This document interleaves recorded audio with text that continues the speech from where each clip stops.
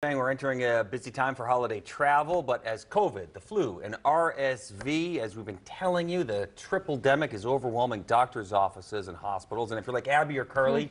you don't need us to tell you. If you have little ones, it's brutal already. So, yeah. Dr. Gautam Desai with Kansas City University is joining us to talk about how to stay healthy while you're traveling. Yeah, thanks for being here with us uh, this morning, Dr. Desai. So, starting off, what do you recommend for getting people ready to take these trips that they're going to want to take no matter what? Yeah, people are sick of not traveling, so they definitely want to travel. I was in Orlando a few days ago, and the airport was jam packed. So you need to prepare in case you're traveling with kids, um, you know, to meet to their needs, so they're not screaming on the plane. Uh, and they've stopped passing out wipes in a lot of flights, but I would still ask for a little wipe, and I would just clean off your tray table, seat back, and belt buckle, as well as your armrest. So try and you know, prevent coming in contact with germs.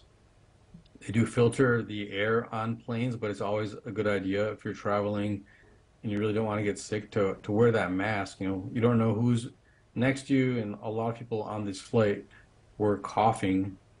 And then mentally, too, you want to find out information. So when I was passing the check baggage line, they announced that you have to be there three hours in advance in Orlando in order to check a bag.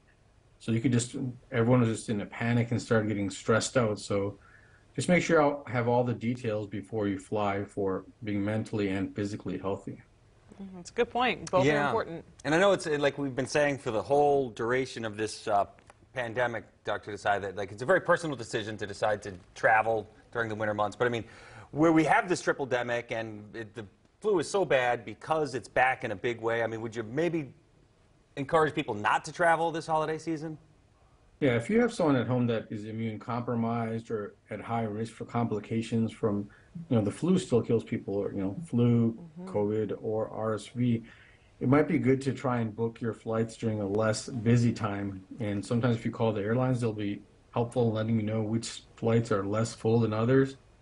And that way, if you get to the airport early, you can avoid the lines and for the you know bag screening and sit off in a little corner with your mask and just keep sanitizing your hands and you know use the same precautions that we've all grown sick of, but they really do work. You know, we saw a big dip in RSV when everyone was wearing masks, but now it's back with a vengeance. Yeah, it really is. Uh, on a different topic, you did recently come back from Kenya um, on a medical trip. So how do those trips make your medical students better doctors after they graduate?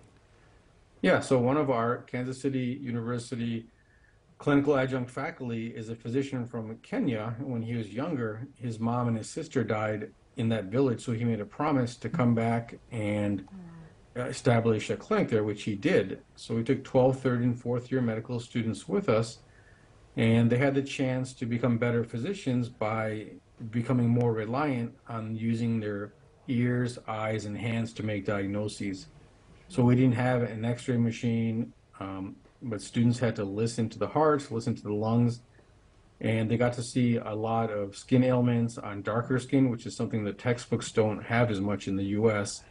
So they can bring all those skills back, you know, to help us here because they have improved diagnostic capabilities. That's wow. wonderful. Great service. Very powerful, yeah. yeah. Dr. Desai, thank you for joining us this morning.